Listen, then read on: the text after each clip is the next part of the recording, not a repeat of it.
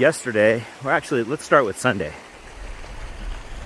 Sunday I was going to get ready for this little two night trip to, to Idaho and I got up in the morning and I got on my computer and I saw one in one of the off-road forums that there were a couple guys, turned out three guys, um, doing a drive up around between Tollgate and Walla Walla in the Blue Mountains. And I had actually mapped that particular drive or something similar to it as something I wanted to do. And so I thought, well, it's an opportunity to go with some other people who are more experienced than me. And so I messaged them, and they were coming from the Tri Cities. And I met them up at Tollgate, and we did about 70, 75 miles um, on trails and Forest Service roads up there. Some of it was pretty muddy. I don't think I got footage of the muddy part, but um, it was fun. You know, uh, just driving to drive, I find less interesting. Actually, I like stopping and taking pictures. So I, uh, I don't think I'll do a lot of that, but it was good to, we got through some pretty ugly mud holes and it was good to figure out what the truck would do and when I need to start getting a little worried.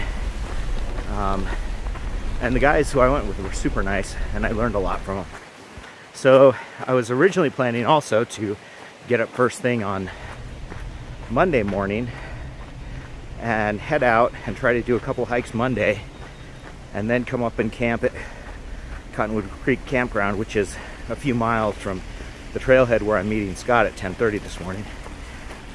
Um, but I ended up not getting home until after six o'clock on Monday, and I kind of didn't feel like just rushing off. So I took a leisurely morning, hung out with Sarah, went for some walks, went for a walk, and then drove and had a nice easy drive up to Cottonwood Creek Campground last night where I spent the night. I got there around 4.30 so you know it was early evening this time of year and I stayed up and I took pictures of the stars which were beautiful before the moon came up and then I climbed into bed at 7 o'clock.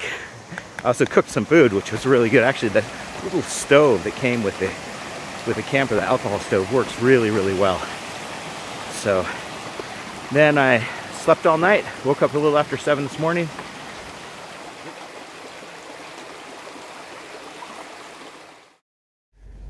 Well, I spent last night at uh, Cottonwood Creek Campground, which is about two miles down the road from here. And it's now about 7.30 in the morning, 6.30 Pendleton time. And I'm going to go walk up Cottonwood Creek Trail. There's a couple, uh, looks like uh, hunting camps right here. So I'll put on my vest, take a little hike, come back, get some breakfast, and then go meet um, Scott at 10.30 this morning for another hike.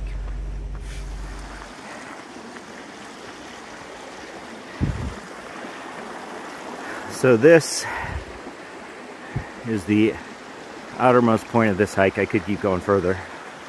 But I'm gonna go back and meet Scott. I'm gonna have breakfast and do some other things before that. So back down the trail we go, back to the car. So I failed to mention that this Cottonwood Creek hike was hike number 69 in the Trails in the Northwest, um, which is one of the reasons Scott and I picked the particular hike we were doing later in the day, because it was near this one. Uh, it was a fairly uninteresting hike. Uh, I mean, it was pretty, but it was a long, rugged drive to get up there for a two mile hike. Uh, however, it was another, you know, 10 to 15 miles on that horribly rutted or horribly washboarded dirt road to get up to where I was hiking with Scott. Um, and I ended up not taking a lot of video or pictures from the hike with Scott. There's a few here that you'll see, but mostly we just chatted, which was really nice. And so we went about, uh, I don't know, close to 11 miles. Yeah, um, well, the nice thing about this truck. It was basically it's got a big rack on it. five and a half miles Uh, up and then five and a half miles down. Um, so it was good workout. I got in- I got in trouble for that, but um, And it was kind of interesting walking in this creek bed for, uh, I don't know, it must have been half a mile which is unfortunate. in and out of the creek bed. Uh, Yeah, I think this is the rock that made me fall in. Yeah. See if I can get a video of you falling in again.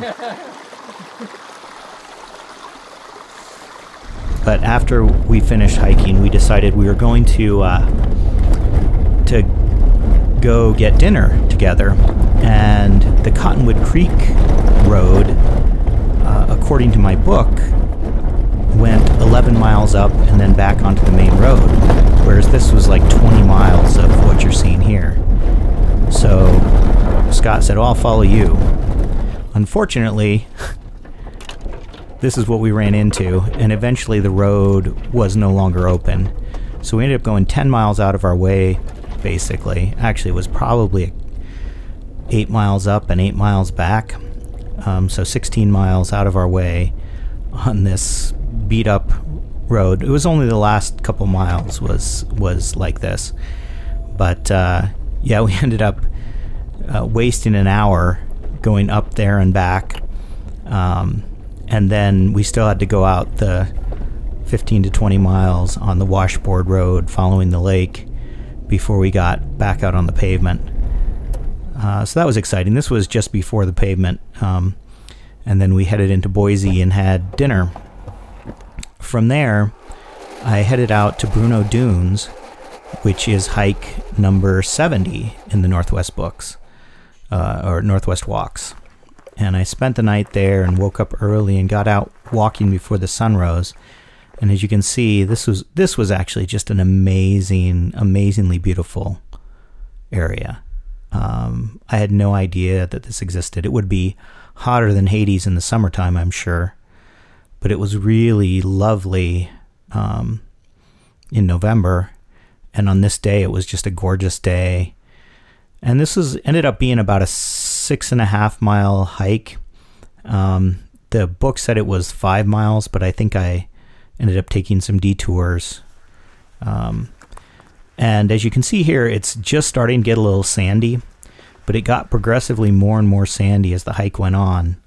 And probably four to five miles of it was in pretty soft sand. And let me tell you, my calves and my quads were feeling it the next morning. It was, it really worked me over. Um, it was like walking on the beach, except for it was even softer than than a lot of beach sand. But as I said, it was gorgeous. It was beautiful. There were all these cool tracks in the sand. And then after a certain point, you come around and there's this giant sand dune, a couple smaller sand dunes, and there's a lake, a big lake in between the sand dunes. And there are, was a ton of waterfowl on the lake. Um, just uh, hundreds, thousands maybe of birds. And it was really, really beautiful. And I didn't get within shouting distance of another human being on the entire hike. I, I saw some people, you know, a mile away on top of the sand dunes at one point, and I'm pretty sure there were some people at an observatory on the other side of the lake. But it really felt like I was out there all by myself, and it was just um, really beautiful. So I, I will go back to Bruneau Dunes at some point. Uh, the campground was fine. It was a little expensive. It was like 20 bucks. Um, but I'd like to go back with the camper van and actually take Sarah and then take a little more time and walk around. Although I think I ended up spending um, four hours probably on this hike. Uh, yeah, it was just Really, really lovely. It, this was worth worth the trip right here.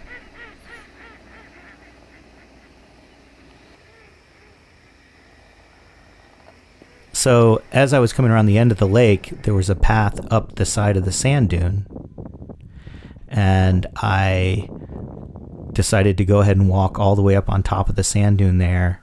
So that's where I camped last night. And that ended up taking a lot more time and energy than I expected. It was deceptively tall and difficult. Um, but coming down was easier.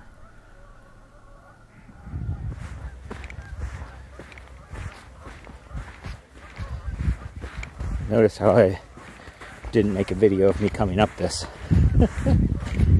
That's hard work. So it was a couple miles back to the car after I came around these lakes. And then I jumped in the car and headed about 45 minute drive to Bruneau Canyon, um, which is only 12 miles away from where I was, but I had to take a looping route. And once again, it was a rough washboard road and I showed up here around noon, and I decided I'd make lunch.